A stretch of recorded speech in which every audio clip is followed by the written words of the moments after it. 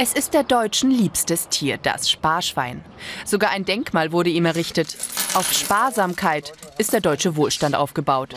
Das weiß auch der Münzhändler.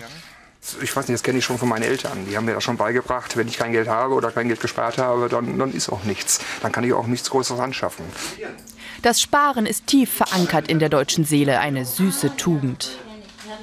Sparbuch ist natürlich in diesen Zeiten immer sehr, sehr schwierig. Natürlich aber eine immer noch der sichersten Sachen und darum hat man natürlich auch noch das Geld, was man hat, auf dem Sparbuch weitestgehend.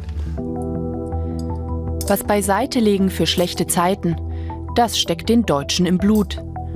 Schon seit Jahrhunderten wird gespart.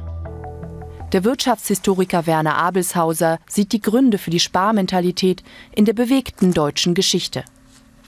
30-jähriger Krieg und Vielstaaterei.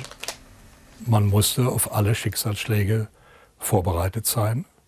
Äh, und das bedeutete, dass man äh, in der Lage sein musste, bei Krankheit, bei dem Tod wichtiger Familienmitglieder, äh, bei der Ausbildung von Kindern, die man dann wegschickte irgendwo, um etwas zu lernen, da musste man schon in der Lage sein, aus dem Geldvermögen rasch zugreifen zu können. Vor 200 Jahren dann die ersten Sparbücher, staatlich gefördertes Sparen. Selbst die Ärmsten sollten was zurücklegen, sinnvoll, als es noch kein Sozialsystem gab. Das Geld der Deutschen, es vermehrte sich, ohne dass sie ein Risiko eingehen mussten. Die deutsche Wirtschaftskultur war ausdrücklich, also das haben auch die Ökonomen in, in Abgrenzung zu dem britischen Beispiel äh, so gesehen, im Kaiserreich, war ausdrücklich nicht auf Börse und Spekulation hin orientiert, sondern auf Kooperation und Nachhaltigkeit. Immer wieder wurde das Ersparte entwertet.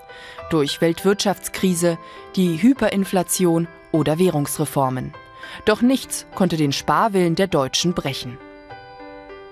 Die große Sparideologie äh, kam eigentlich erst nach dem Zweiten Weltkrieg, in den 50er Jahren, äh, wo man ja nun äh, alles neu anschaffen musste oder nicht alles, aber vieles neu anschaffen musste und die das Kaufen, das Konsumieren auf Kredit äh, nicht sehr populär war.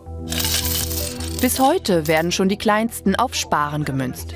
Das Geld gehört gut angelegt auf die Bank, sicher und risikofrei. Auch wenn es kaum noch Zinsen gibt und das Ersparte wegschmilzt. Ein Notgroschen muss sein. Dass man nicht mehr ausgibt, wie man hat, das sollte einem schon mit dem Einmal-Eins des Rechnen sollte einem das schon beigebracht werden. Und wenn man das einigermaßen berücksichtigt, dann kommt man nicht auf die Sollseite, sondern bleibt auf der Habenseite. Und wenn es dem Schwein dann doch mal an den Kragen geht, dann muss es schon für etwas ganz Besonderes sein.